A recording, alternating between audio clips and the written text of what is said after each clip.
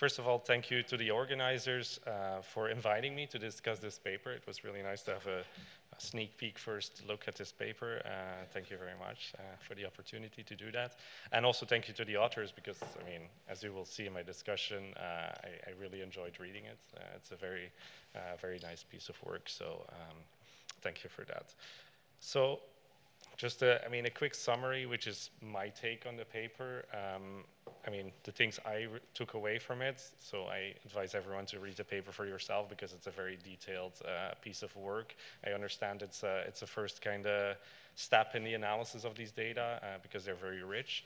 Uh, so, but the, the authors, they basically they analyze the factors, uh, particularly also the skills uh, that facilitate these transitions uh, into green uh, and then green shortage jobs, so the two dimensions, with a focus on Belgium, which I think, I mean, we can all agree, people here and here, like, uh, sometimes it's very hard to bring all the data together, uh, so it's very nice to see that uh, these data came together with also like the help of the regional public employment services, and then you use the, this re regression probability approach on these on the trend transitions.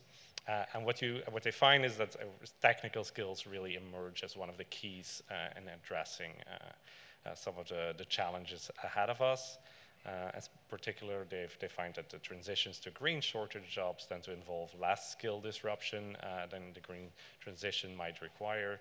Um, although they, I mean, differ significantly from other categories in terms of income, required skills, and education. So that's in a nutshell. Now, first of all, I mean, also looping back to, uh, to what uh, the governor said before, I think this, I mean, just to highlight how relevant the question is that the, the, the authors here are answering. So, I, I, mean, we can disagree on some of the things that are being said in the Draghi report, but I think we can agree on one of these points, which I literally took from the report when I, I look when I first got the paper. I was like, okay, but this is in the report. This is exactly what we need because Draghi explicitly states like, okay, we have this skills gap, and what, I mean, one of the first recommendations is that we get our hands on better data, better intelligence of what is actually um, uh, happening there. So we're la lagging behind a bit uh, in terms of like our understanding and the data on uh, the skills gap. So I think I can only be very uh, positive about the paper here. I think it's really fi filling a gap, and I think you can even highlight that better in the paper itself, um, the, the policy relevance of, of, what you're doing.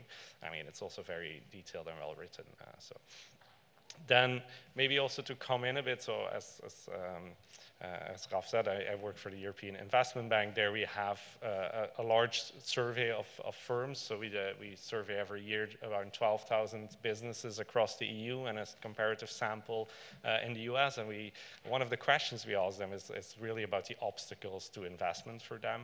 And what we see there is I, I just took one of the plots. We have, I mean, we have it for all, uh, specifically the one for the EU and comparing also to Belgium. Uh, we have it for all the countries uh, and we have a specific report for Belgium as well if you are interested. But so there we see that, that the availability of skilled staff is one of the major obstacles that is typically reported. I mean, there's, there's obviously uncertainty about the future. Also, in, I mean, in the most recent version, we had, I mean, um, wave of the survey, energy costs also played up a lot. Uh, but, I mean, typically availability of the skilled staff is a major issue. So again, there you're really on, I mean, uh, doing, I mean, addressing a question which is extremely relevant. So, okay, there are some differences across Europe, but I just wanted to highlight that, I mean, the relevance for Belgium there again. Now, when, when we go into the paper itself, uh, there's a lot to be, I mean, to be discussed. I think overall, I mean, the results make sense. I think if you look at some of, I mean, the regressions, I mean, it's no surprise that, say, permanent contracts, I mean, have a negative coefficient that you're going to shift uh, um, less free, I mean, transition less frequently. Now, when I saw this graph, I was a bit puzzled. Maybe, maybe I mean it's the I mean, the alarm of an economist going off. But like because you mentioned, but you don't really go into it that much. So you see like the the differences in the wage premiums basically for the green versus non-green. But then there's also what you can do in this graph is basically compare shortage versus non-shortage. And what you see there is that, I mean, the shortage jobs basically don't necessarily come at a huge premium. So as an economist, you would think, well, what's going on there? Because if you want to attract more people, you would raise the wages. I understand, and you also explain this further in the paper, that you haven't really explored the wage component of um, of the data yet, but I would really uh, encourage you to do so because I think it's really interesting, and I understand that also, as you explained in your presentation, there are uh, the composition of these groups is different, so you would have to control for that. But it would be really interesting to see whether this this uh, this um, lack of kind of a premium there to attract uh, the right people uh, still holds up when you control for the other uh, components further. So that's just uh, something I, I, was thinking about. Then um, I think again, uh, it's a bit buried in the paper, but I think the, the sectoral component, you have the sectoral data, so I think this would also be very interesting to explore further. So this is, I mean, I understand it's preliminary work, so just giving uh, suggestions for further work here um, because I think this can be very interesting. And I think you even mentioned it somewhere in a footnote that some of the transitions we might need to see or the shifts are actually, I mean, much larger at the sectoral level rather than the four categories you explained. So maybe, I mean, purely out of interest, I, I would like to see a bit more on that. Also, because it can help inform policy uh, well, right? So where to uh, to put uh, some of the focus of uh, if if there would be any interventions.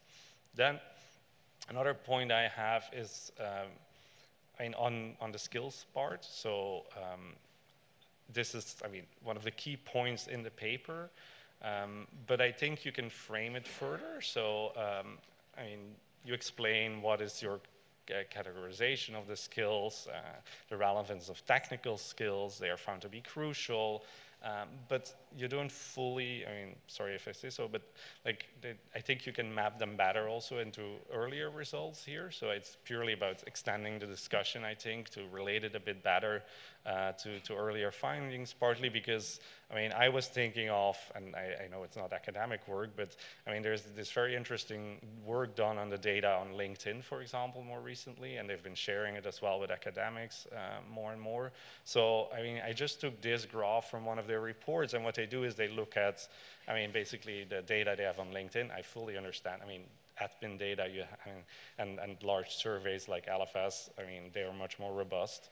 Uh, LinkedIn data doesn't cover the whole population, and I understand the, the, limitations and the caveats of these data, but th what they do is they do nicely map them into different uh, skills, right? And they also have these skills uh, of the people on LinkedIn then transitioning into green jobs, green jobs they have a very nice report on, on green skills, so feel free. I mean, um, I would look into it a bit more, maybe link it a bit. Uh, I think overall the findings are relatively similar in the sense of like you find the technical skills matter a lot. So what you here see is also nat natural sciences, utilities, I mean mathematics, construction. They're also very high up there um, for I mean for having people more likely to shift. So I think it it, it relates. I mean think the, the link is it's easily made and it, it maps into, into what you find well, but I think you can highlight that a bit more maybe.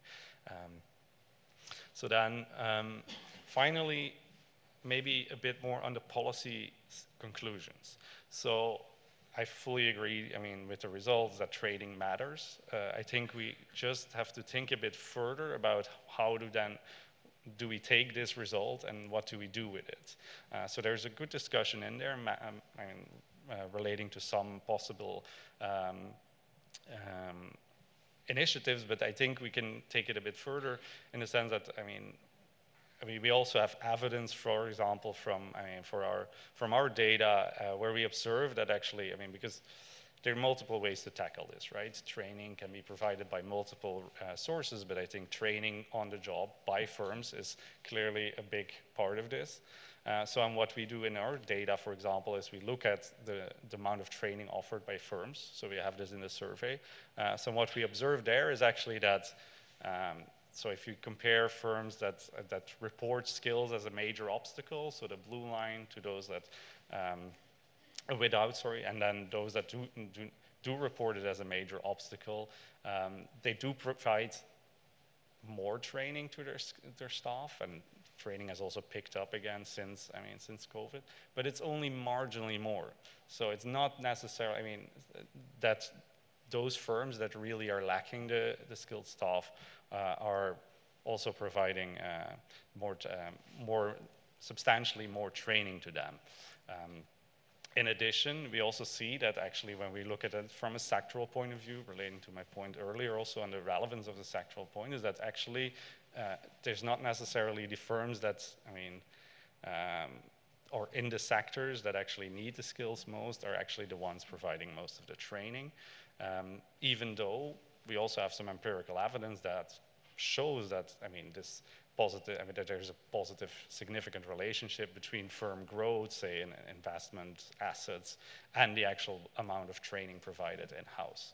Uh, so I wanted to highlight that a bit because I think we have to think a bit further on then how to fill this, uh, this gap in terms of training because we see that it's not necessarily directly being done uh, by the market at this stage. Um, so and finally also we see that for example I mean in the statistics that participation of adults in learning uh, is actually relatively still relatively low across the board uh, in Europe with some exceptions but so if we want I mean adults to, to pick up the skills I think we, uh, we need some uh, further interventions there.